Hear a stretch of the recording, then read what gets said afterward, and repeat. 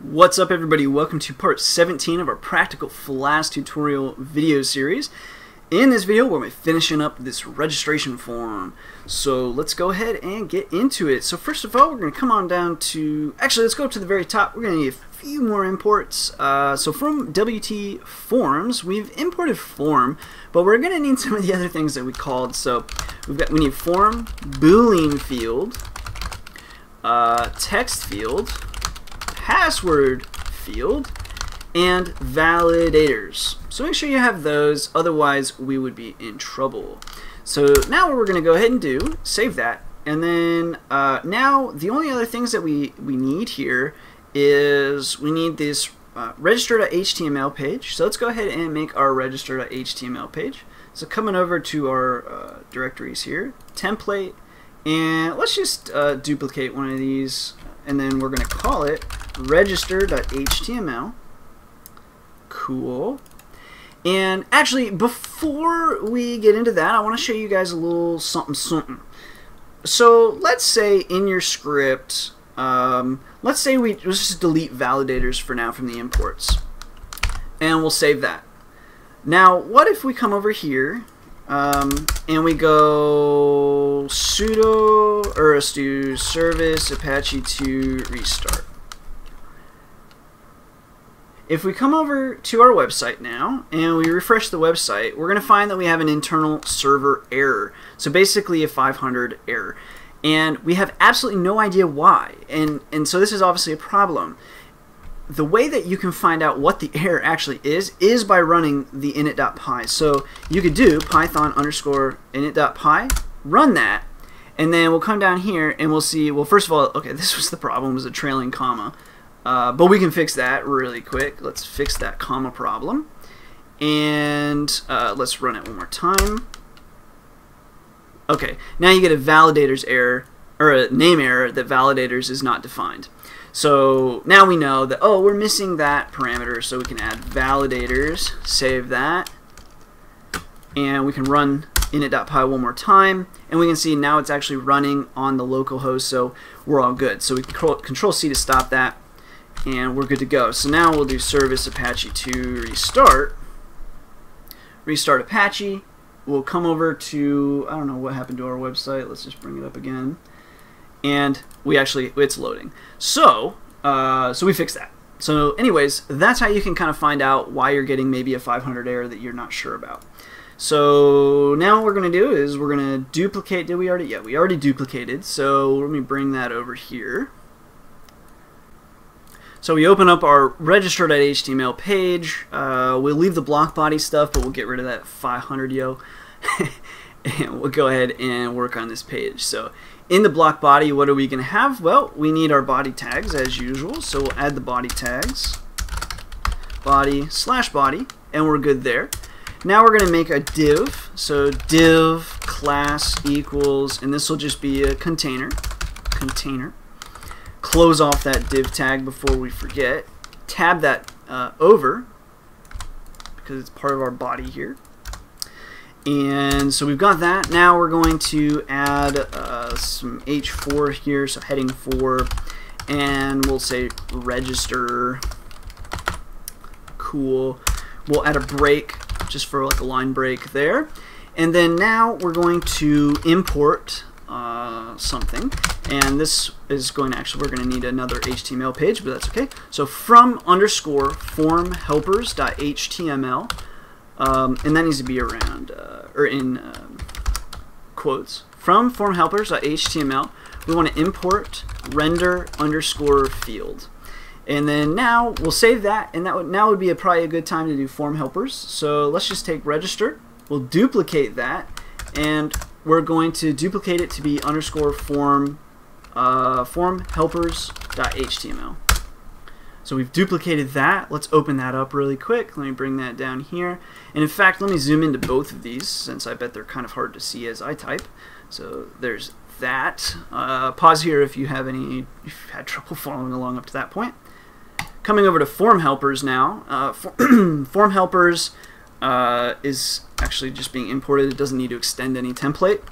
Uh, but it is going to be a macro. So macro render field, and then in parentheses that's going to be field.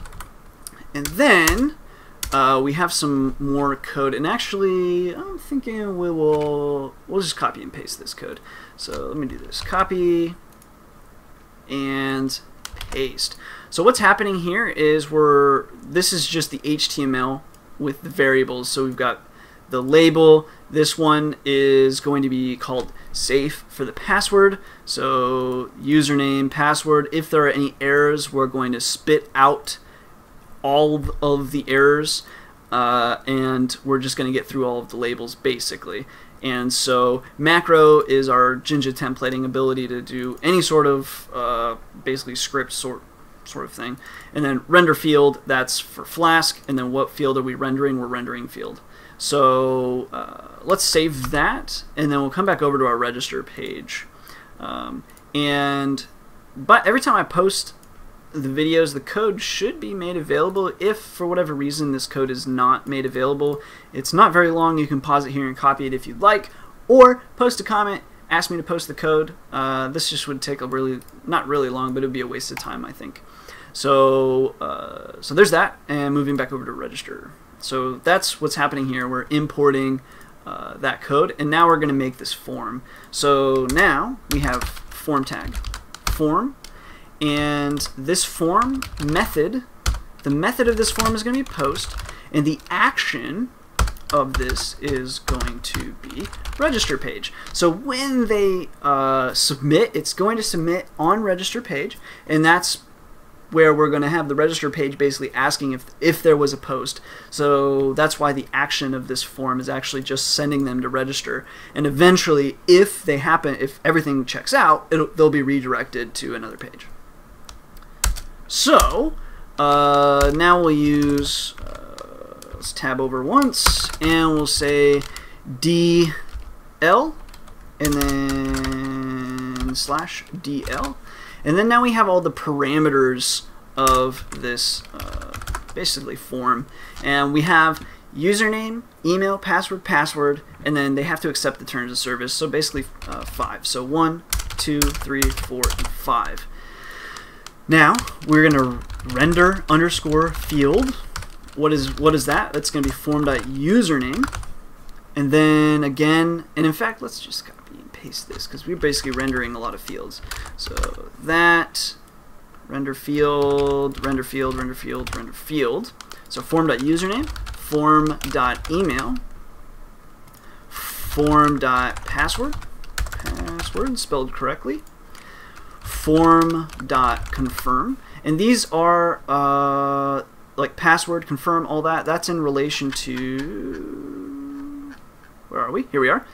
Uh, this right here, right? This is the confirm, this is confirm, password, email. These are basically the IDs of those fields. Form.confirm, and then form.accept underscore TOS. Okay, Now, uh, we never ended our form, so we're going to need to do that. Uh, but also we need one more thing. Just outside of the DL there, uh, we're going to add paragraph tags, p and slash p. And um, we're going to have this be input, and the type, whoops, that needs to be a tag, input, and the type is equal to, whoops, not that, submit, and the value equals register. Okay, so that's our submission. And now we'll close off the form, slash form. So that's our whole form. And then we're going to have some Jinja templating logic, and that's going to be if error. So if that error va variable is populated with anything, basically, is what if error asks. If there's nothing uh, to error, it'll be none. That means false, basically, so this won't run.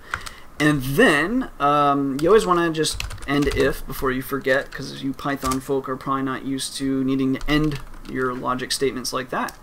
Um, so if there is an error, we're going to say p class equals uh, error, and then uh, strong like this slash strong.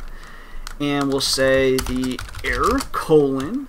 And then after the strong tags, we'll do uh, the error variable, and then we'll close off, whoops, we'll close off the paragraph tag there. So if error, we're going to say error and what the error actually is. Okay?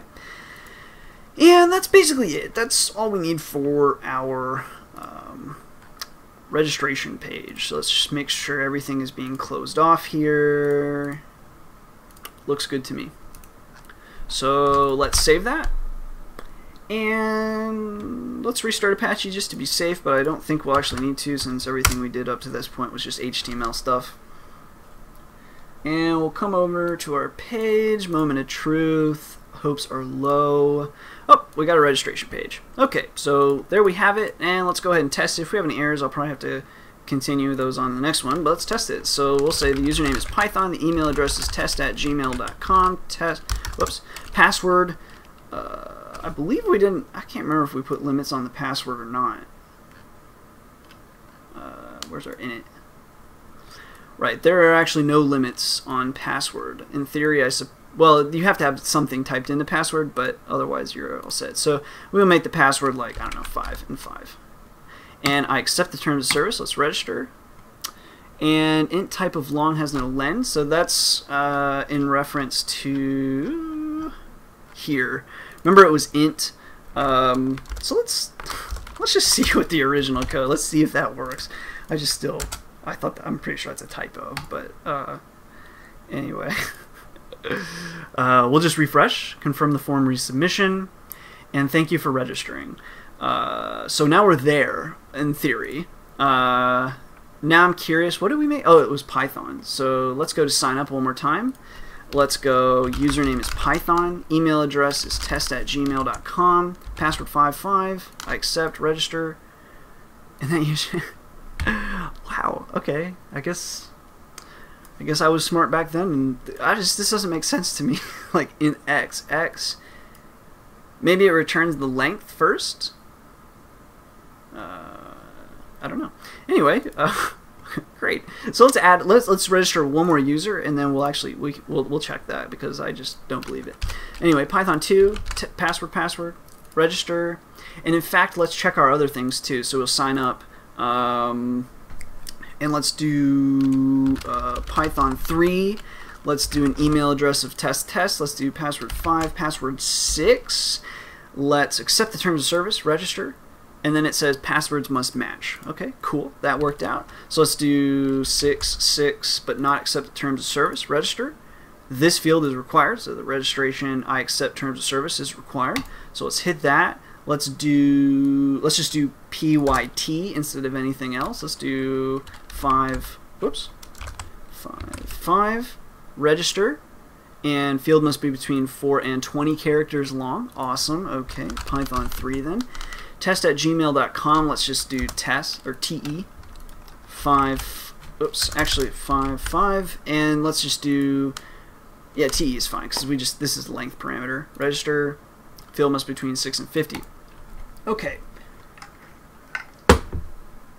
So it looks like our registration is working decently. Obviously the email address could be this, not even an at, right? Register, and that would be acceptable. So you might want to have some logic that requires them to use a legitimate email address, something like that. Uh, but this should be fine for now, just for simple stuff. Uh, I'm trying to think if... Uh, I don't really think there's anything else major I want to show you. So now let's go over here, and we want to access our database I'm trying to think of how far back our database uh, code was before. There it is. Nice. So MySQL dash dash user equals root dash p for password. Enter. And uh, here I've entered my uh, database. Now we need to use use uh, Python programming semicolon. Change our database. Um, and then now we'll run select all from users. Okay, so this returns all of our user information and you can see actually here is our fancy passwords. So remember we actually hashed all passwords immediately. So these are the fancy passwords saved into our database. We have other information. We've got basically user ID, 123, that's working, awesome. Uh, user ID, username, this is their password, their email, and then settings is null for now because we didn't do anything, and everyone has completed the introduction to Python programming. Okay, so that's all set. Uh, we've got registration working. Now, of course, we need to work on the actual login and how does that work. But before we get to login, I do want to show you guys the how the password hashing works because actually it won't equal, it won't look just like this. It will be different numbers, so uh, or different uh, hash, I suppose. Uh, so I'll show you guys how that's actually working because I think it's fascinating and you should obviously know how it works and see how it works so you can know what's good password because you can hash passwords all day but you can have huge hash tables and find out exactly what someone's password is very fast. So there's a very special way to do it um, and so we'll be talking about that in the next video. Uh, but anyways, it looks like our registration is working. Awesome. Uh, nothing I really need to add, I don't think, at the moment for registration. Still interested in X, that just is fascinating to me. I guess that's how it works. I, maybe the first thing in X is the length. I don't know. Anyway, because um, later on you can reference the data in X. So X, and then you've got. Um, I guess probably what's happening is to, normally what you would do is x dot fetch all, and that would be all of the data that's in X, or you can do like fetch one stuff like that. But anyway, more on those the fetching and all that later. So I guess that was the right code. Save that. Uh, let's exit. Let's restart Apache one last time. Make sure I didn't screw anything up. Come back to our website. we'll Refresh.